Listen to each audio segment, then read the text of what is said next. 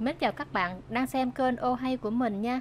À, Theo cái video lần trước mình chia sẻ về Google Drive và cách sở hữu về Google Drive Unlimited không giới hạn dung lượng lưu trữ và thời gian sử dụng thì vĩnh viễn. Bạn nào muốn có cái Google Drive Unlimited thì vào kênh của mình xem ha. Mình có để cái đường link trong phần mô tả ở bên dưới á. Thì à, mình có giới thiệu sơ về cái Google Raw Photo và cái công cụ này nó hỗ trợ uh, lưu trữ không giới hạn cho tất cả các hình ảnh và video với chất lượng cao nên các bạn có cái thói quen chụp hình và quay video thì nên tải công cụ ờ, Google Photo này về sử dụng nhé. Ờ, và tất tần tật đều là miễn phí và không và cũng không giới hạn dung lượng. Và theo mình thì ứng dụng này thì rất là tuyệt vời và rất cần thiết trên các chiếc điện thoại thông minh của các bạn nên hôm nay ô hay chia sẻ với các bạn chi tiết các cái thủ thuật liên quan đến Google Photo. À, các bạn cùng ô hay khám phá cái ứng dụng này nha. Nào chúng ta bắt đầu thôi.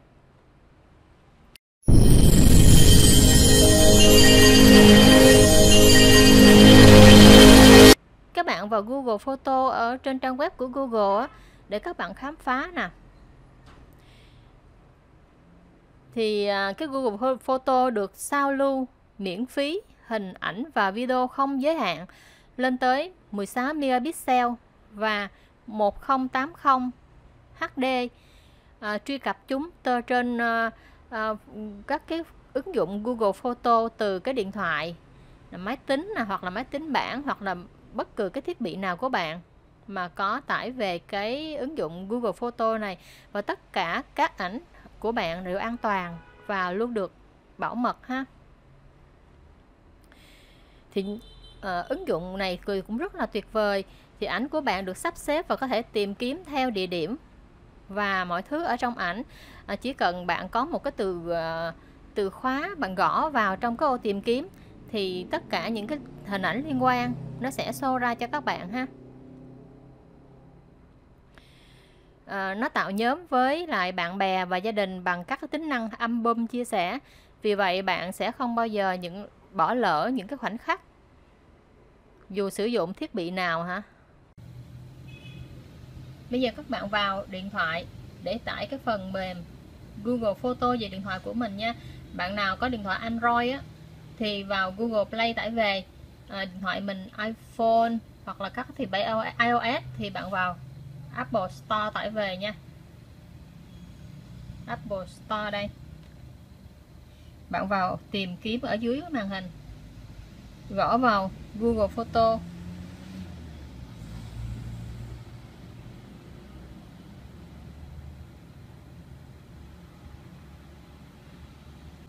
Google Photo nè. Đây, Google Photo nè bạn rồi download về. À, trong thời gian chờ đợi nó download đó bạn chờ mình chút xíu mình kết nối vào trên máy tính luôn để hướng dẫn cho nó dễ nha các bạn. Sau khi ứng dụng này nó lót xong thì bạn vào trong cái ứng dụng này và nó yêu cầu bạn xác nhận uh, cho phép truy cập ảnh video hoặc là vân vân thì bạn cứ khai báo hết. Mình bỏ qua cái bước này nha các bạn. Bây giờ bạn mình vào ứng dụng nha. Khi bạn vào ứng dụng, nó yêu cầu bạn chọn cái Gmail để đồng bộ hóa. Tôi chọn Ohay Media.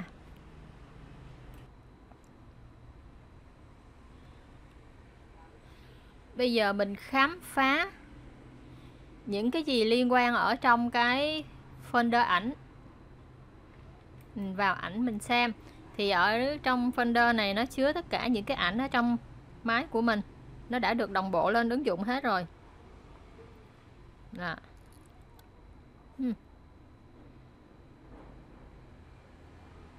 đó.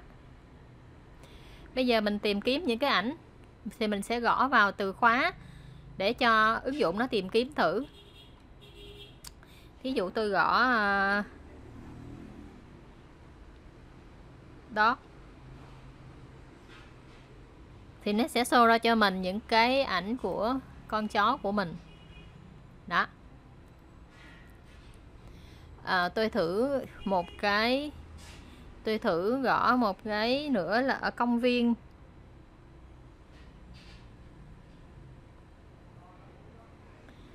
Đó.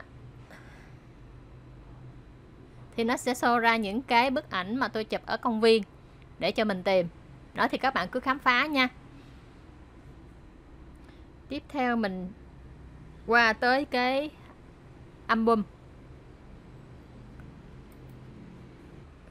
Ở đây nó nhận diện gương mặt rất là hay nha. Thí dụ bạn chụp nhiều hình bạn bè thì nó sẽ thể hiện cho mình những cái gương mặt của bạn bè nó nhận diện cái gương mặt và mình cho mình vào trong cái uh, folder uh, vào trong cái folder này để mà bạn tìm bạn bè một cách dễ dàng ha. Cái thứ hai là địa điểm. À, bạn nào chụp nhiều hình ở nhiều cái địa điểm khác nhau. Thí dụ như là à, bạn đi Hà Nội Sapa à, Nha Trang rồi đó thì bạn đi càng nhiều thì nó sẽ thể sẽ thể hiện được những cái bạn đi nhiều thì nó sẽ thể hiện được cái lịch trình của bạn. Ở đây mình không có đi đâu xa cho nên là cũng không có thể hiện được cái việc này ha. Tiếp theo là mình khám phá cái folder video. À, ở đây nó chứa những cái video của mình bạn vào khám phá xem. Ví dụ như bạn muốn chia sẻ cái công thức ờ, làm mảng cầu cho bạn bè, bạn chạm vào trong cái video này và bạn thấy là có cái nút chia sẻ ở phía dưới rồi, bạn nhấp vào, bạn chia sẻ cho bạn bè. Bạn có thể chia sẻ trong Google Photo của bạn bè của bạn hoặc là chia sẻ trong các các ứng dụng khác. Zalo, Viber, WhatsApp gì đó tùy bạn ha. Tiếp theo là mình vào khám phá ảnh ghép.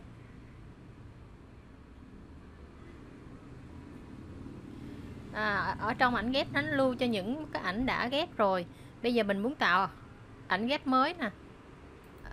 Rồi mình sẽ tạo một cái à, thiệp sinh nhật. Này mình chọn đại ha tạo nè. Nó sẽ ra một cái ảnh sinh nhật đại khái gì đi ha. Rồi mình có thể uh, chỉnh màu sắc cho ảnh. Ứng dụng nó đề xuất cho mình một số cái màu của ảnh. Ví dụ như màu uh, trắng đen.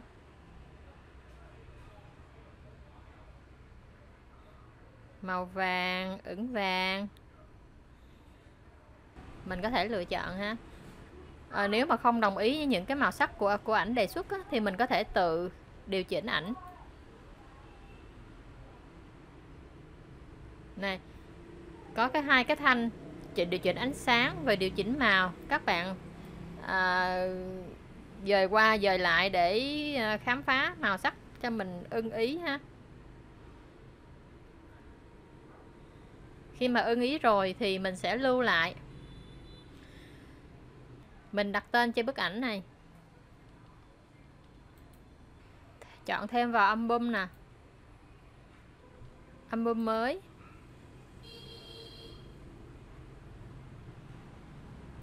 À, chúc mừng sinh nhật.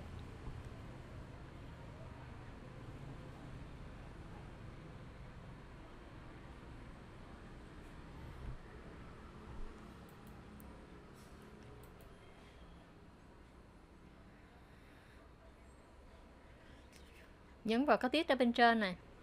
Như vậy là mình đã có một cái thiệp sinh nhật gửi cho bạn bè rồi mình nhấn cái nút chia sẻ bên trên và chia sẻ cho đến ờ, người bạn mà mình muốn tặng sinh nhật. Tiếp theo là là ảnh động. Ảnh động là gì đây? Bạn vào khám phá nha.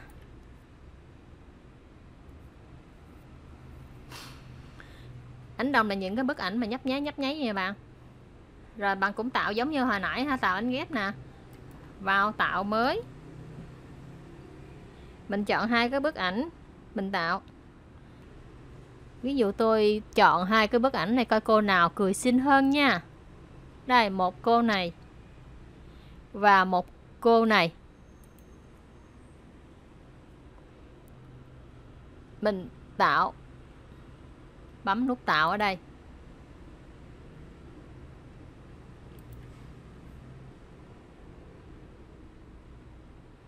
Đó, mình đã có cái bức ảnh là tạo nụ cười của hai cô gái đây. Rất là xinh, đúng không? Cô nào cũng rạng rỡ hết. Sau đó thì mình cũng chọn cái icon ở phía dưới màn hình để mình chia sẻ. Tiếp theo là mình khám phá trong cái folder phim để mình tạo phim. Mới cho phim, nhấn vào nút cộng ở phía dưới màn hình. Bạn vào tạo phim mới đây bạn vào album để chọn những cái à, bức hình mà mình có tại tạo phim nha. Thí dụ như bạn ha bạn chọn hết những cái tấm hình ở trong à, trong một chuyến đi du lịch bạn chọn hết. Nó cho chọn tối đa 50 mục.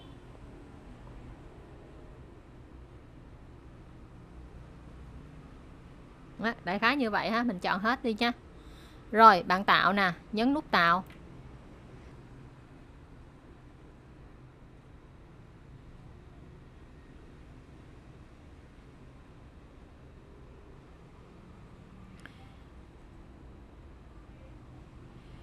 Bạn có thể chọn nhạc cho video.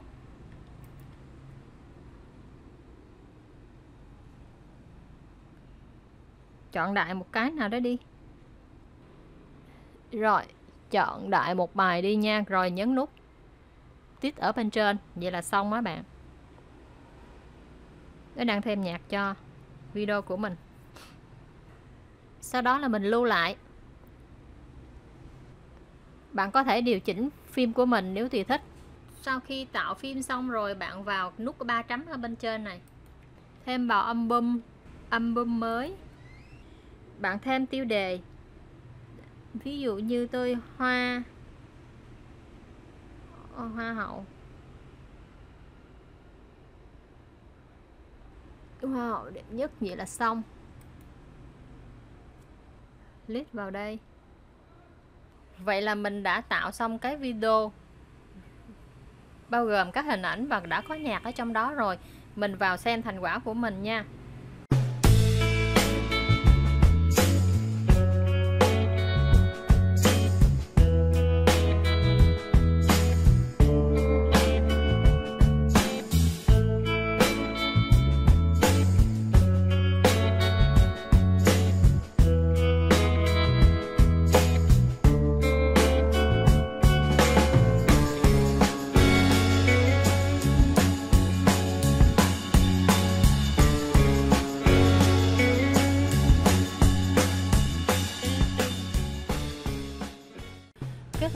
phim này thì uh, nó sẽ cái hiệu quả khi mà bạn đi chơi có nhiều thành viên bạn bè của mình đi về đó thì mình sẽ tạo nên một cái bộ phim gồm có tất cả những hình ảnh gồm có nhạc thì các bạn xem sẽ rất là thích thú và chỉ cần một cú click chuột thôi là bạn đã gửi hết tất cả những cái hình ảnh của mình tới cho các bạn của mình. Trên đây là một số cái chia sẻ cơ bản về cái ứng dụng Google Photo này à, và nó còn và nó, và nó sẽ còn một số cái thủ thuật nữa. Thì trong clip sau đó mình sẽ hướng dẫn thêm cho các bạn. Chúc các bạn trải nghiệm và thực hiện thành công nha. Mến chào các bạn. Cảm ơn các bạn đã quan tâm theo dõi. Nếu có gì thấy hay và có ích thì chia sẻ cho mọi người cùng xem. Và đừng quên nhấn nút đăng ký kênh để nhận thông báo xem các video tiếp theo. Nếu quý vị có thông tin thì vui lòng để lại comment bên dưới cô hay sẽ tổng hợp và trả lời ý kiến cho các bạn Kính chào và hẹn gặp lại ở những video tiếp theo. See you again!